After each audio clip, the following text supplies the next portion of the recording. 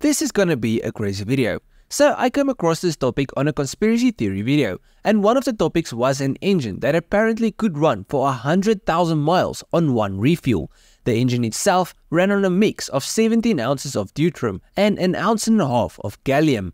Now to make it more interesting, the inventor died while in good health in his 50s from a heart attack. So Chris of the future here, um, when editing this, I wanted to find some pictures of the dude and the engine and everything.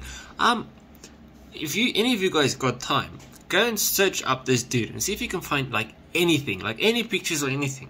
Because I can't. It's almost as if he never existed. I can't find a picture on Google anyway. Um, I can't find a picture of the engine itself at all. So yeah, that's why I don't have any pictures of him in this video or any pictures of the engine itself because there isn't any. But yeah, let's get back into the video. Just thought I'd try to explain why there isn't any pictures. Yeah. In this video, I want to dive deep into the creator of this motor, the motor itself, and how it should work, the specs of the motor, investments and suppression, and then I want to see if I can find any science that can back the technology. So let's start this all off. In the late 1970s, a brilliant inventor named Rory Johnson, hailing from Illinois, ignited a revolution that would reverberate across the realm of energy generation. At a time when the world was tethered to fossil fuels and traditional energy sources, Johnson dared to envision a future powered by the marvels of his own creation. His brainchild, a magnetic motor driven by cold fusion, laser activation, and a visionary propulsion method that defied the status quo. Now, when he started, nobody really believed in him. In fact, most thought that he was a little crazy. But this didn't stop him. He continued his research. You see, Johnson discovered the light activation cold fusion by accident while working on a new type of electronic circuit using deuterium oxide and gallium.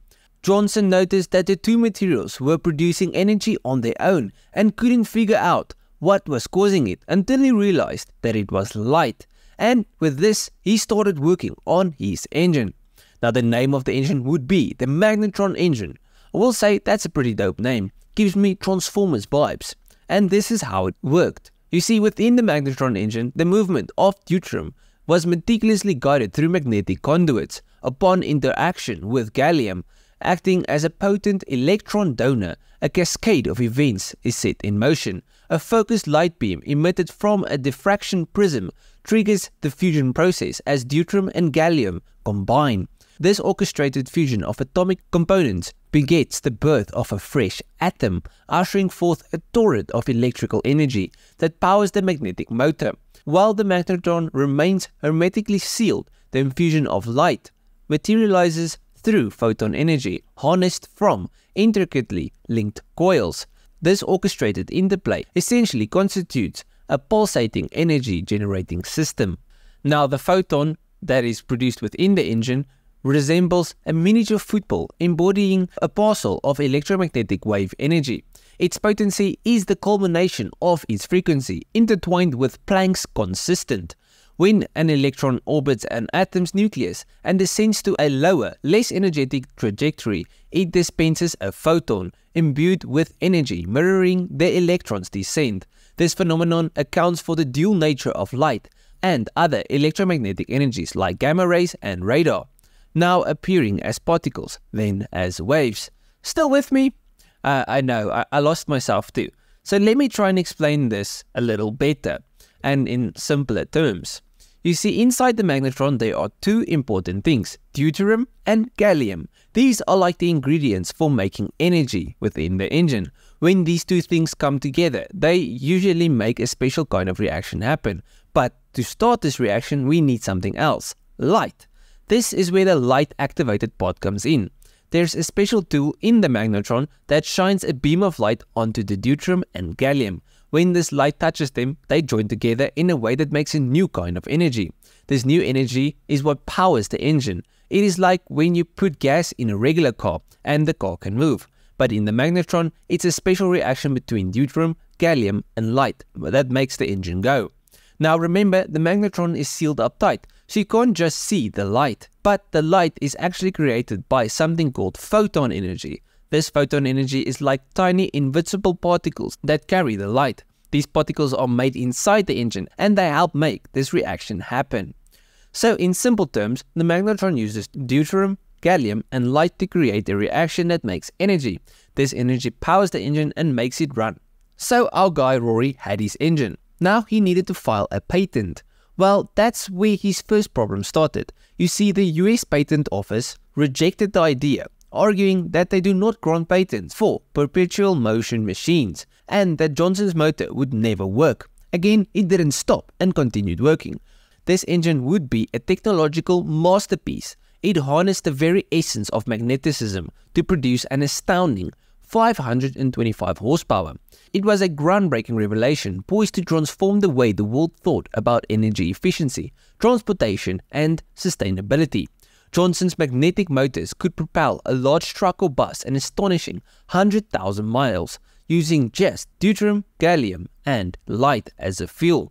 What Johnson achieved was years ahead of his contemporaries, preceding the emergence of cold fusion technologies from the likes of Pons Fleischmann and Dr. James Patterson. Intrigued by the promise of his invention, Greyhound Bus Company entered negotiations with Johnson, envisioning a fleet of buses powered by his revolutionary engine, and apparently one of the employees of the bus company actually saw the motor running. This delighted the company, and the potential for monumental fuel savings, reduced maintenance costs, and increased profits for Greyhound bus companies seemed tantalizingly within reach. However, unbeknownst to Johnson, his innovation had caught the attention of an unexpected adversary. OPEC, the oil giants, keenly monitored any potential threat to their industry dominance, and Johnson's revolutionary technology marked him as their number one target.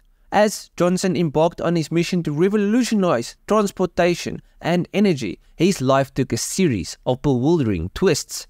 You see, there was a sudden silence from Johnson's end. Ground, the investing company, was baffled. Despite initial enthusiasm and discussions, no concrete business proposal was presented by Johnson for over two years.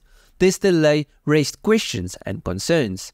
Then, Johnson's former business partner Mike Marzigola revealed that Johnson had passed away. Marziccola aimed to collaborate with Greyhound to revive the technology by reconnecting the generator wires that Johnson had previously and rather mysteriously cut.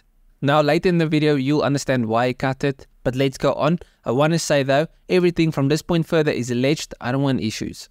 So, a key twist in the story involves a government issued grab order, which gave the US government the authority to seize Johnson's motors it's rumored that the Department of Energy, which some believed was influenced by US oil companies and OPEC, sought to prevent potential competition to their oil related interests.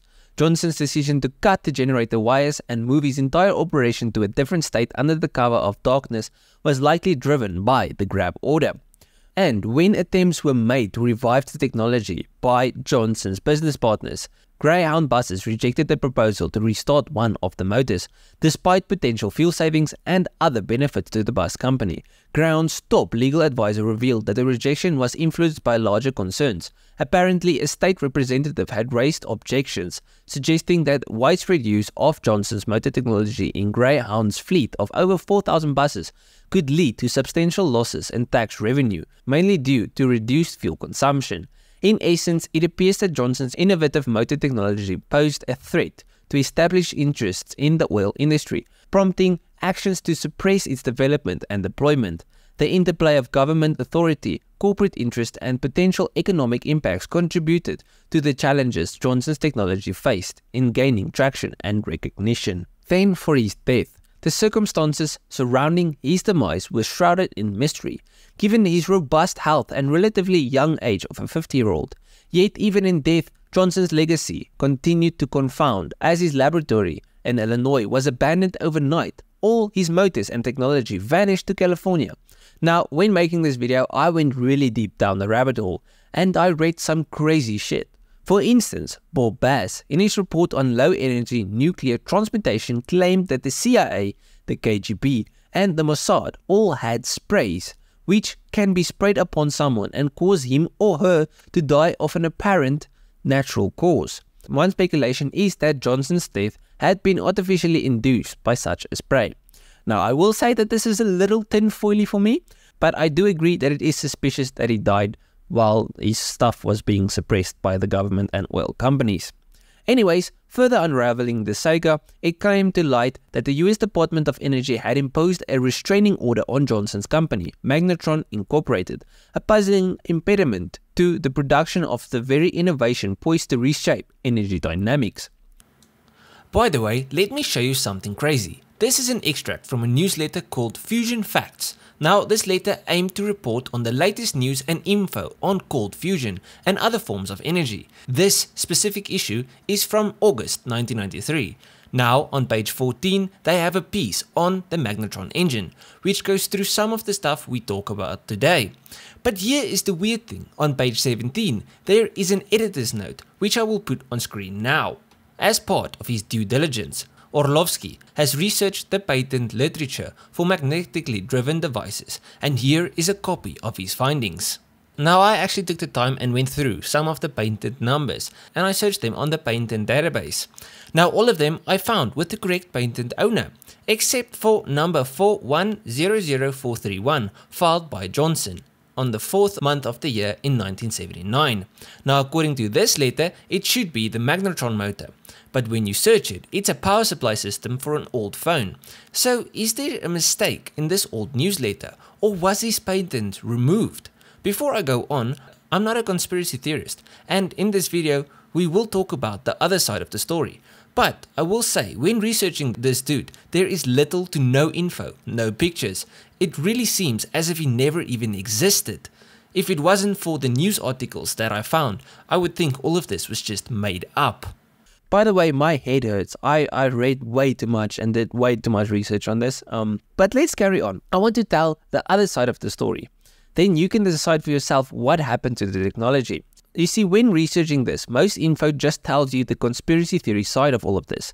And I wanted to see if there was anything more to it. And I did find quite a lot, including a news excerpt from a 1980s news article, which shines a bit more light on the restraining order the lawsuits against Johnson and his engine. P.S. Um, I did spend way too much time researching this and finding more info than just the conspiracy theories and stuff. But if you guys enjoyed this video, please leave a like and subscribe, and then I'll make more videos like this in the future. Yeah, but let's get into the lawsuit and fraud charges against him. The Illinois Attorney General's office initiated a subpoena enforcement lawsuit against Johnson and Magnatron. The lawsuit included two counts of fraud these charges were in response to Johnson's actions related to the promotion and representation of his engine technology.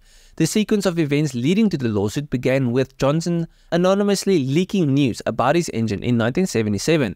In 1978, he started promoting it publicly. Johnson attracted investors, convincing them to invest $25,000 each in his venture. When the Attorney General office became aware of the investments, and claims surrounding the engine, they requested documentation from Johnson to substantiate his assertions. However, Johnson refused to provide the requested documents. In June of 1978, a temporary restraining order was issued against Johnson as he continued to resist providing evidence to back his claims. The Attorney General's office obtained a permanent injunction. This injunction prohibited Johnson from promoting the engine and selling investments to the general public. However, he was still permitted to seek investors from the commercial segment. Johnson appealed the injunction, taking the case all the way to the Illinois Supreme Court. Despite his efforts, the injunction was upheld by the court. Now, this lawsuit included two counts of fraud. One count pertained to Johnson's misrepresentation of his personal achievements and technical capabilities. For instance, he claimed to have graduated from prestigious institutions like MIT and Darmstadt, which were denied by the institutions themselves, claiming that he never even attended. He also misrepresented his work experience at companies like Westinghouse, NASA, and Motorola. The second count of fraud was related to Johnson's misrepresentation of the engine itself. He consistently refused to produce the necessary documentation to substantiate his claims about the engine's capabilities. There were instances of cancelled demonstrations with the Department of Energy and others, preventing a proper showcase of the engine's functionality. Then, after all of the missed demonstrations and refusal of documentations, the Illinois Attorney General's office had an affidavit from Dr. Charles Baker, who was the head of the Fusion power program at the Argonne National Laboratory in Illinois, and Dr. Baker's affidavit stated that the fusion reaction described by Johnson was scientifically impossible. So at the end of the video, I want to know what you think. Was Johnson a genius inventor that got suppressed by the government and oil giants? Or was he a genius conman who fooled thousands? By the way, while researching this engine, I found more engines and technologies like this that was allegedly suppressed. If you want more videos like this, let me know down below and then I can make some more videos. They do take a while, so the next one won't be out like next week. These videos take a bit longer than my average video because there's a lot more that goes into them. But yeah, if you guys like this video, please leave a like and subscribe to the channel. And if you did like it, you must like most of my other stuff. So just go through my channel, see if there's something else you like. I'll check you guys in the next one. Cheers, eh?